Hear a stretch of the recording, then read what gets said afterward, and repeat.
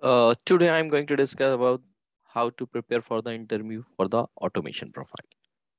So uh, basically we'll say our interview depends on four pillars. Basically you can say four things are uh, mainly required, mainly uh, you can say used while the while taking the interviews. So first pillar is that manual testing, second pillar is database part, and third pillar is programming skills and fourth one is automation testing so first of all uh, what happens that whenever any automation person goes for any interview he thought that if he will go for the automation profile only the automation related question will be asked to him. Like he will be asked from the programming skills question. He will be asked from the automation tools like whatever tools is uh, you can say mentioned in his or her uh, resume like Selenium WebDriver, API REST, whatever is mentioned there. But that is not the fact. Because the thing is that nowadays what is happening, uh, you can uh, take uh, in such a way, like uh, in the companies, they are not going to hire a manual guy, a manual person who is doing the manual testing. He is writing the test cases and there will be another person for the automation profile. Means it is not something like that. Two persons are working on the same project on the same thing only the difference is that one uh, one person is doing the manual testing he's writing the test case another person is writing the code for that to automate the test cases. But that is not the fact. Nowadays what is expectation from the company that there will be a person same person will identify the test case he will write the test cases manual test case properly and and and then he is going to automate those test cases with the help of any automation tool. So that's why if you are going for the automation testing profile also in that case, you should have the manual testing knowledge and and with manual testing knowledge, you should have some knowledge about the database SQL because you know that this is the main weapon of a tester. When you want to verify something that uh, that the thing is coming properly in the application or not, and if you have access of your database application database, you can verify directly with the help of SQL queries right? So so first of all but first of all whenever you are going to uh, face any interview for the automation you should prepare from the manual testing. Yeah but the fact is that in manual testing you should not go so much into the depth. You don't need to go so much in the depth. Uh, you should uh, only cover the basic concept. Basic concept should be clear. Your basic concept clear should be clear. Like for example uh, what is manual testing uh, testing types? What are the testing strategies and uh, you can think about some good questions like uh, what is uh, severity priority testing strategy? What is black box testing? There are so many you can say only basic concept are there. So you have to understand only the basic concept. You don't uh, don't go don't need to go into the detail of the concept like what is test plan or something like that. You are going for the automation testing so in that case you should have some basic concepts. So basic concepts should be clear. Like in the uh, uh, when we go at the end of this uh, video you will see i've shared few concepts for your uh, reference so that you can understand what type of uh, understanding we should have for the automation testing. Second thing is that what we should have in terms of database. In database also we have to focus on the sql part only. We are not going to uh, sometimes what happens people start preparing for the database from something like the ddml what is dml dcl data different type of concept are there like they are uh, also uh, start preparing about normalization something. No as a as a you can say automation tester whatever you can learn that is good but what is mandatory? That your sql skills should be good. Sql skills means you should able to write a good query to fetch the data from the database. And especially in the in this uh, sql part your joins should be good. Because as a tester what we need we need to fetch the data from the database using uh, multiple tables. And for that purpose we need to understand the concept of joins. So many things are there that also I will share end of the video. Third thing is that programming skills. So now again, what people do a mistake in the programming skills sections, you are going for the automation profile. So first of all, what happens that when you prepare for the interview, you should think about that I, I'm going for the automation profile. So in terms of programming skills, I have to cover I have to cover lot of the things right? But the thing is that that is not a proper approach. The proper approach is that first of all try you should try to cover the basic concept or the language right? You should cover the basic language of the uh, uh, uh, uh, basic concept of the language and you should be comfortable on that. When you are comfortable on that then you should go beyond that and trust me in the automation you don't need so much so much uh, good concept so much very very strong concept you need. For example multi-threading is a very very good concept of java. That is used by developers. But trust me in whenever you are going uh, to use any automation testing tool you can take the example of any selenium api i. Don't think so you need a multi-threading programming expertise on that. Reason is that uh, we have a test TestNG thing for that. We have so many other framework that that we can include and achieve whatever we want to achieve from the multi-threading so we should not go into very, very, very depth of the core Java. We should try to cover the, but I will, that thing also I will share at the end of this video. Now, again, then the last part is automation, and that is our main weapon. So again, the thing is that in automation, you can say sky is the limit. You can uh, make yourself expertise on different type of tools. But if I will take the average requirement, what is the average expectation from the company nowadays that what skill set you have? So that is you should have Selenium WebDriver. You should have the knowledge of API testing. And nowadays, because people are learning the Selenium, uh, the good framework for API testing is Rest Assured then you should have the knowledge of basic knowledge of the JMeter.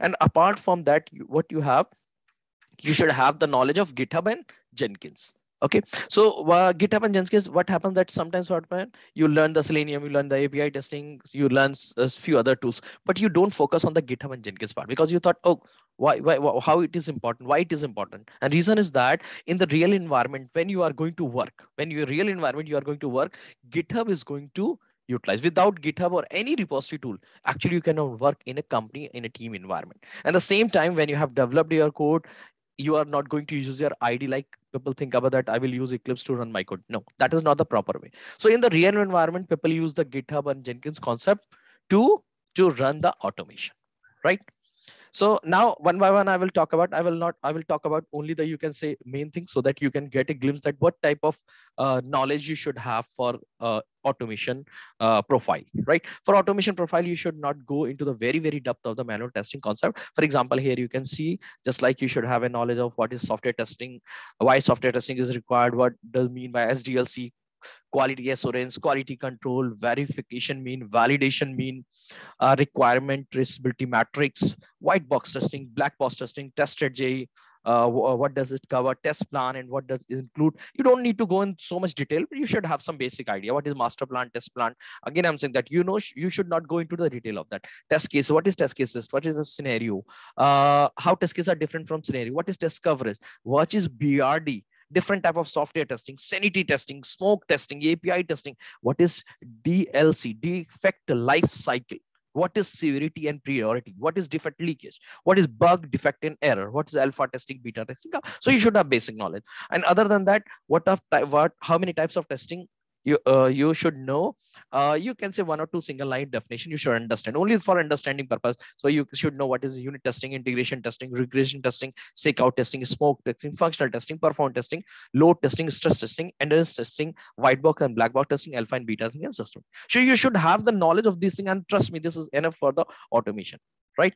And you should not go into very very depth of these topics now, when you go to the SQL part, I simply say I guess I told you that uh, in SQL part, you should be uh, uh, good in terms of writing your queries to select query because you know that we uh, as, a tester we have to fetch the data from the database if if in the case if the we have access of data. So what happens? We should write we should able to write some uh, queries to fetch the data on the basis of uh, when we are fetching the data from one table or we are fetching the data for multiple in that case also you should be start from your initial level. You should try to uh, uh, practice the some basic queries. Then you should go with the complex one and complex one. For your understanding purpose or for your uh, you can say for your practice purpose i can only suggest that suppose take the example here. I've taken the example uh, in the blue box we have two tables employee info table and employee position table. I've also mentioned the field here. Now you should practice from yourself that are you able to write these 10 queries which i mentioned above right? And at the same time when you are going to write this query you should have a proper structure in your mind whenever you write a query. What was what was the flow to use uh, different clause to using different clause in your query? So you can see the example i have given a uh, flow diagram that you can use select then from the where. So where how you should write this query. Okay so here i'm giving you this example that you can try on your side. Just create these two tables and just insert few records and try to write your and just see that you are able to do it on right? And now when i'm again i'm saying that in terms of programming skills here i've defined that you can in java you can learn. Java is very very wide. Java is very very uh, not only in terms of advanced level in terms of core java also java is not uh, you can say so much small. It is very very big. So whatever you are going to cover it is it is a it is a long long term process to uh, to learn the things. So what what is the basic things you should learn so that you can start working you should start learning and you can build your understanding for for the big and major concepts. So, uh, for example, you should go with the what is JDK, JRE, JVM, what is object oriented, what is platform. You should clearly understand what is class and object. You should understand what is clo local variable, class variable, instant variable, what are type of function, what is constructor, what is constructor chaining, what are data types, what is the variables, local variable, instance variable, class variables, access modifier you should know. Loop controls, different type of loop for, while, for each, decision making, if else, nested if, switch case, continue and break. Same time, one important thing, string class in its function. You should understand uh, string is a very, very important class of, you can say Java. Most of the time in your automation, you use different concept, different function available in the string class. You should focus on that. Arrays in Java arrays how you should arrays in java and how it should be used you should learn that. You should focus on that. Object oriented uh, concept like inheritance overloading overriding this also used this is also used mainly in at the time of interview. Okay they can ask you that what is overloading so you should focus on this part. And trust me these are the you can say very very basic concept. And then in go to the collection you should go into the collection for list set and map. In list set and map you should not go, again go into the very very depth. In list you should go array list HashSet and hashmap. We have a proper, you can say, bigger structure, big net of Java collection. But initial level, I don't think so. You should go into the very, very depth. And trust me, when you are creating an automation framework, these three, four collections, which I told you, array list, HashSet, and that they are enough. Then uh, when you are writing any any automation related code uh, in Java, you should have good knowledge of expect exceptions things like uh, what are exceptions checked exceptions unchecked you should have and one majorly most used code in Java is file handling. Whenever you are writing automation, you have to read data from the any any file. Majorly people, when we are work on the, you can say to pull the multiple set of data from any file, we always prefer the Excel file. You should work on that. You should learn that thing. Okay. Now, other than that, whenever you have built your understanding on above things, you can start learning some basic programs and you should start learning basic programs from string handling that you should uh, try to create a program like a string uh, count the num uh, number of alphabets in the string. You can check the number of occurrences of a character of a alphabet in the string. You should go with a small one right? And at last what is the main you can say profile in which you are working? That is automation. So in automation also again i'm saying that you can learn so many things you can learn and trust me, in the automation now, so many tools are available, so many languages are people are learning Python also, people are learning JavaScript also. But the thing is that you have to start your confidence level. So at the confidence level, and what is the actual you can say what is the average requirement which comes into the market?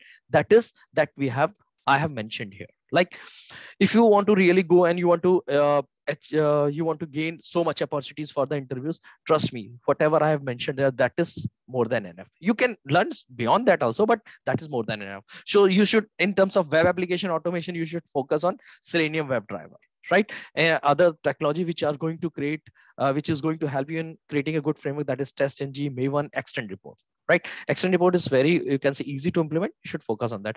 Then in api part you should uh, in terms of manual, you should uh, learn some tool like Postman. That is okay. You can learn the SOAP-UI also.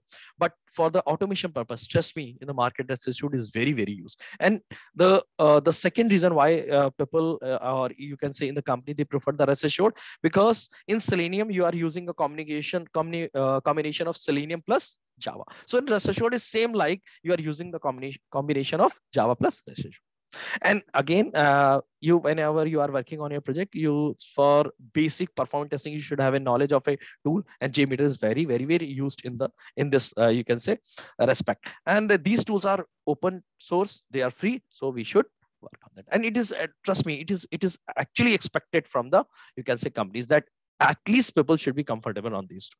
Other than that, we should work on GitHub and Jenkins. GitHub and Jenkins, again, I told you in the previous slide, like uh, GitHub is actually a repository tool and uh, most of the companies most of the company environment they are not working something like that uh, they are keeping their code on their local system and no they always try to keep in a environment in a team environment where multiple people are working on the same code same automation project so in that case how you are going to manage these things they use github concept so we should learn and github is just you can say if you focus time it is only a you can get topic basic things you can learn uh, I think uh, not more than two to three hours. You can learn the thing. And now say the second thing is Jenkins in this respect. What is the use of Jenkins whenever you are developing your automation? So now people think of that, okay, I will develop my program and I've developed my automation in the Eclipse. Now I will run with the help of Eclipse. But that is not the fact. In the real, in the real companies, in the real environment, what happens that once you have developed your automation, actually it should be run by a portal. So that and what is the purpose of that portal suppose what happens that you have developed your code and someone want to run your code. So you are going to ask okay download eclipse download java configure a system then run in this way runs java application run as test and something no it is it is not you can say it is not a proper way to share the project with your clients with the other person so so what is the best way you can configure your project in a build trigger tool. And Jenkins comes into the category where you can configure your project and anybody who want to run your project, they can run by simple clicking on a button. Okay, so that is it.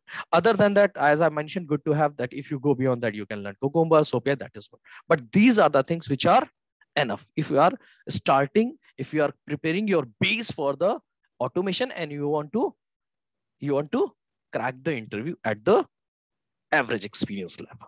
Okay. Thank you. If you like the video, please subscribe. Thank you.